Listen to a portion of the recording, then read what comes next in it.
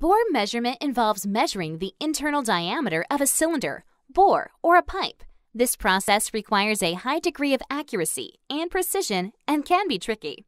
There are different aspects of bore deviation that one can test for. Taper, where one end of the cylinder is wider than another.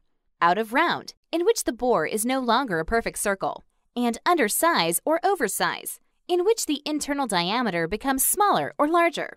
There are a few different methods and tools for bore measurement, all of which come with their own sets of advantages and disadvantages. The first method we'll be looking at uses a telescopic bore gauge. It has two spring-loaded contacts that can move freely until locked. To measure the internal diameter, or ID, of a bore with this gauge, insert the gauge at an angle and rock it back and forth until you feel it catch. Then you lock the gauge, and then measure the length of the gauge using a micrometer or caliper.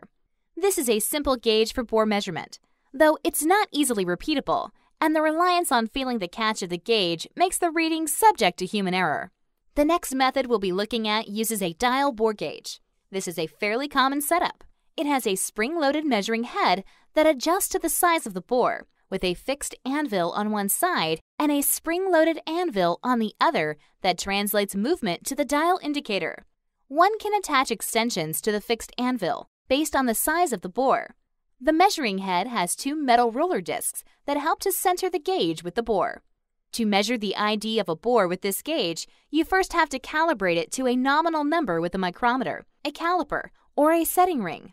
Insert the measuring head of the bore gauge and rock it back and forth, keeping an eye on the gauge at its highest point. Adjust the dial to show zero for the maximum reading point.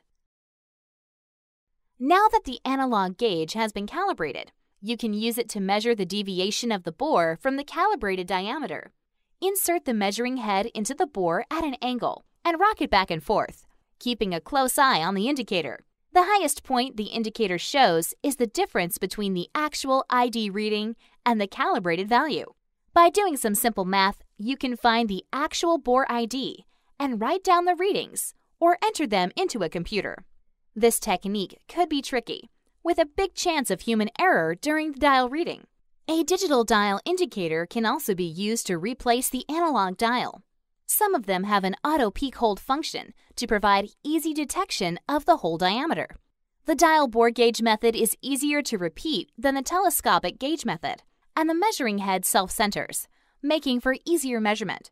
But it still has a significant potential for human error, since the maximum and minimum peak detection is still determined visually. The last method we'll go over uses multiple contact gauges. This comes in either a micrometer head style or a spring-loaded pistol grip style, which is easier to use but less stable. Insert the measuring head into the bore and either release the spring or turn the micrometer end to get the ID measurement of the bore, then record it. This method requires minimal repositioning and for most cases, no calibration process. However, it lacks the flexibility of adding extensions for different bore sizes and is usually the most expensive among the options.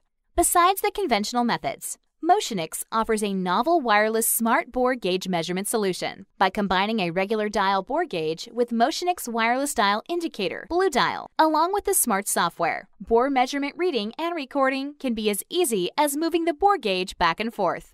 The software is smart enough to find the maximum reading from the wireless dial indicator remotely and capture the bore size automatically without even looking at the dial readings or doing any math.